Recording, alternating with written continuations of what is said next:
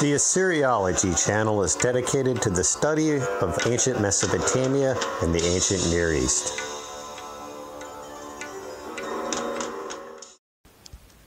Today's video is going to be a very brief overview of some of the online tools that someone who is interested in learning about the field of Assyriology can use to explore the field of study. Four websites that are of primary interest include the CDLI, the ETCSL, Oracc, and the EPSD. The CDLI is a collaborative effort of the University of California, Oxford, and the Max Planck Institute for the History of Science in Berlin. The website contains a massive array of scanned cuneiform tablets. Some of the tablets contain transliterations and translations as well. The CDLI website also contains a number of other features, including the CDLI wiki. The search tools at the CDLI are very comprehensive and allow the user to search for cuneiform tablets in a number of different ways, including searching for all of the tablets that contain both transliterated and translated terms. The ETCSL stands for Electronic Text Corpus of Sumerian Literature. This website was created by the University of Oxford. It contains over 400 literary compositions that come from ancient Mesopotamia, dating from the 3rd millennium BCE through the early 2nd millennium BCE. The ETCSL makes these texts available in both Sumerian transliterations as well as English translations. The name Oracc stands for Open Richly Annotated Cuneiform Corpus. The name is actually a Doctor Who reference. The website is the baby of Dr. Stephen Tinney of the University of Pennsylvania. It is a large collaborative effort that many scholars have contributed to. Oracc is a very large website with a wide variety of different tools and functions. I highly recommend spending some time exploring them. The EPSD stands for the Electronic Pennsylvania Sumerian Dictionary. This is another website that is the byproduct of the labors of Dr. Stephen Tinney of the University of Pennsylvania. The EPSD is the most comprehensive Sumerian dictionary available to date. The search matrix available on the left hand side allows for the searching of terms both English to Sumerian as well as Sumerian to English.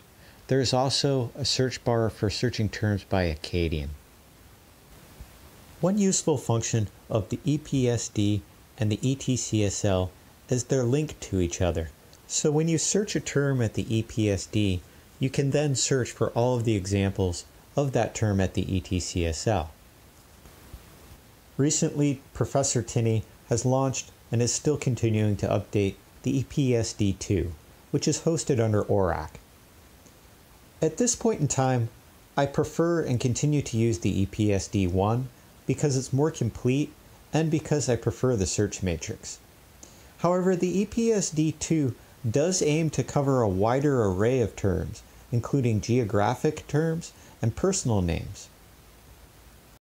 I assure you there will be future Assyriology channel videos that will explore these websites and other online tools pertaining to Assyriological studies in far greater detail than covered in this video. Because video represents such a prolific and powerful educational tool online, the rest of this video is going to focus on YouTube channels. Another potentially useful website for learning about Assyriology could be YouTube. YouTube does, however, present some challenges with credibility. If we were to search Sumerians or Mesopotamia or something like that into the YouTube search engine, most of the results that we're going to receive are not going to be credible YouTube pages. They're going to be ancient alien theorists, uh, they're going to be various conspiracy theory pages. They're not going to be credible sources.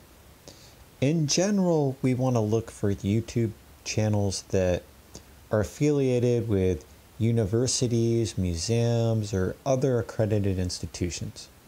Now, I realize this is an ironic thing for me to say because my YouTube channel isn't affiliated with any such institution. However, there will always be some exceptions. My favorite YouTube channel by far is the Digital Hammurabi channel. I highly recommend after you listen to this video going over and checking it out. My favorite content on there is probably the Sumerian lessons, which you can go over to the playlist section and listen to them in order. Dr. Josh does an excellent job in ordering them in level of comprehension. Um, they start off pretty simple and then they get pretty comprehensive by the end of the playlist. Um, the channel has a lot of other really great content as well. It has readings of Sumerian texts and myths. Uh, Megan has a wonderful, wonderful reading voice. Um, it's just it. I, I can't go on and on enough about it. It's just a real pleasure to get to listen to her read the the Sumerian text. Um, the channel also has a lot of really good interviews and live chats. Uh, the two are wonderful personalities, and then they also have a Assyriologists come on as guests. Um, there's interviews with Dr. Jeremiah Peterson from the University of Pennsylvania, who does the ancient uh, text modern scribe uh, tablet recreations. Uh, that's a wonderful interview. Then there's also an amazing interview from Dr. Gina Konstantopoulos, um, I highly recommend listening to that interview as well. Um, just after you listen to this video, go over to the Digital Hammurabi channel and check it out. There's there's a lot of content I'm obviously really excited about over there. A video series that the Digital Hammurabi channel just launched today is the Assyriology Today series. Um, this I'm incredibly a concept that I was intending to eventually work towards doing with this channel, but it's already covered by uh, Sarah and El from Brown University to PhD students, which are both really delightful to listen to. They sort of do a new style presentation where they go over all of the topics that were covered in the last month in that Agade email list that um, Jack Sasson sends out. I'm sure many of you are familiar with this. Um, it's a an email list that a Assyriologists use to keep in touch with what's going on in the field. Um, and then they also go over things they find just scouring the internet, and they do a wonderful job. Um, I was I was really excited about the first episode. They're going to continue to do monthly episodes, and I look forward to seeing next month's. The British Museum YouTube channel features a video series called The Curator's Corner. On it, Assyriologist Irving Finkel has really been on a roll on creating wonderful content. One video features an overview of ancient demons of Mesopotamia. Another video walks through the practices of necromancy and how to summon a spirit into the skeleton of the deceased to speak with the dead. Another channel worth checking out includes the YouTube channel for the Oriental Institute of the University of Chicago. This is another YouTube channel that features videos of varying formats. Most noteworthy to me are the interviews and lectures given by scholars. In the last year, the channel featured interviews by Robert McCormick Adams and Gil Stein.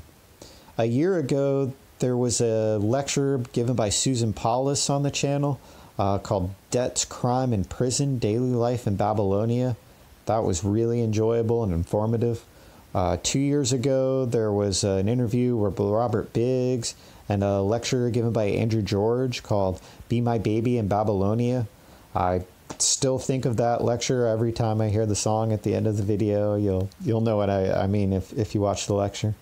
Um, the channel has a video, uh, a lecture by Gil Stein called Sweet Honey in the Rock Honey, Bees, and Beekeeping in the Ancient Near East. This video is really interesting, uh, both from the perspective uh, of an enthusiast of ancient Near East studies and somebody who's interested in beekeeping. Uh, it's it's an interesting video. Uh, the YouTube channel also has good audio lectures that uh, you can put on, similar to what I, I'm hoping to do with this channel, um, in the background and just listen to it kind of like you would a podcast. Uh, there's an audio series that has a talk by Erica Reiner uh, called Hallowed Herbs that talks about herbalism in ancient Mesopotamia. Uh, that was a super fascinating lecture, um, as well as it, it has a lecture from Samuel Noah Kramer, which is really cool to get to hear. You know, Samuel Noah Kramer, the AKA the father of Sumerology, get to hear his voice. That was pretty cool. The Cambridge Archaeology YouTube channel contains a number of videos which are relevant to enthusiasts of ancient Near East studies.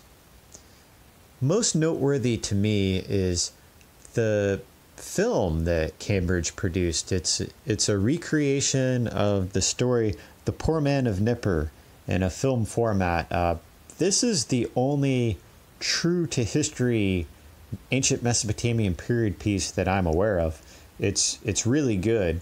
Uh, the channel also has a number of videos that are featuring behind the scenes and how the how the film was created. Uh, there's also interviews with Assyriology students. There's a, a video which kind of gives you an idea of what it would be like to, to study Assyriology at Cambridge. Two very noteworthy lectures over at the Penn Museum YouTube page are given by Dr. Stephen Tinney. The first of which is on the Anzu bird, which is a mythological bird from Mesopotamian lore. The second of which is about the god Marduk and his relationship with the city Babylon. As I mentioned on my recent video on the 2019 ASOR convention, most of the presentations are either not filmed or if they are filmed, the videos are not uploaded and made available to the public. Three up and coming YouTube channels that were just launched this year include LCANE, Persia and Babylonia, and Ancient Near East Empires. LCANE stands for London Center of Ancient Near Eastern Studies. Their YouTube channel launched about seven months ago with six videos, all of which are lectures from Assyriologists. The first one is by Assyriologist Andrew George, who I mentioned earlier in this video. The second one is by German Assyriologist Kamran Zand, who is a scholar that I'm a huge enthusiast of. He he is the scholar on Amesel. I highly recommend his paper on Amesel as as well as his lecture on the LCANE channel. The Persia and Babylonia YouTube channel is really unique. Thus far, it has a three-part series that features a walkthrough on how to use a new online tool called Prosobab that I would go into more detail in this video with because it, it is relevant to the content of the video if I were more familiar with it. Um, I myself have to spend some more time on this tool. Uh, it looks like a really useful resource for looking up ancient Babylonian texts, but like I said, I, I have to spend some more time familiarizing myself with it before I can talk about it at length. A YouTube channel that I'm really excited about is the Ancient Near Eastern Empires YouTube channel. This YouTube channel was launched by Assyriologist Jason M. Silverman. Um, it's it's a really exciting prospect. Thus far, the channel only has one video. It's a video on a uh, Lego replica of the Hanging Gardens of Babylon. Um, cool video, but I'm really excited on seeing what uh, Jason M. Silverman does with the channel and future content. Those are the major channels that I would recommend checking out that exclusively pertain to ancient Near Eastern studies. Um, there's several other channels that have good videos on ancient Mesopotamia, but maybe they don't specialize in just ancient Near Eastern content. They have various ancient history content or even just various history content, and they happen to make a video about ancient Sumer or the adjacent regions. Um, if you're interested in seeing a comprehensive YouTube playlist of all of the videos that I'm aware of and I have enjoyed over the years on ancient Mesopotamia, go over to the playlist section of this channel. I've put together a pretty comprehensive playlist titled Ancient Near Eastern Studies. Uh, the video, the playlist currently has 300 plus videos and it is growing. That's going to conclude this video, which is a very brief and very limited overview of only some of the online content that I feel will be appealing to enthusiasts of ancient Mesopotamia and those interested in ancient Near Eastern studies. I'm tempted to make this video significantly longer and more comprehensive as there are far more online tools, websites, YouTube channels, etc., that I feel are appealing. However, I am trying to make my videos shorter as from what I read, in general, YouTube videos like the content to be around the 10 minute mark or under. And as my viewers may know, most of my YouTube videos have been around the 21 minute mark thus far. If you have opinions on how long you like YouTube videos to be, please let me know in the comments section below.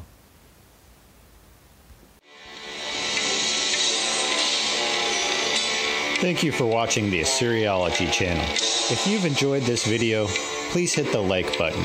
If you didn't, please let us know why in the comments section below. Hit the subscribe button to see more videos on ancient Mesopotamia.